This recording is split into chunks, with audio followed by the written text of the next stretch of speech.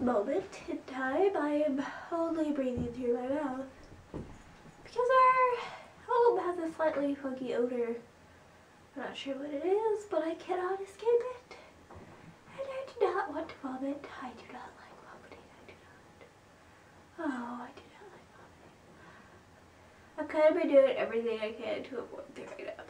Like, you know, drinking water, and then drinking water with lemon, and then drinking regular water, sucking on lemon drops, eating every 45 minutes, a lot of stuff.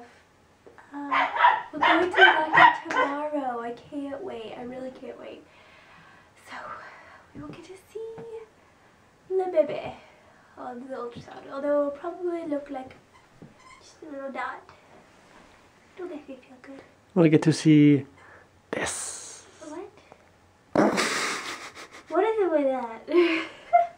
There's somebody in our small group from our church who is just a little bit more pregnant than I am, and I'm excited about that, about knowing somebody who's in a similar pregnancy stage as me, so that's very exciting.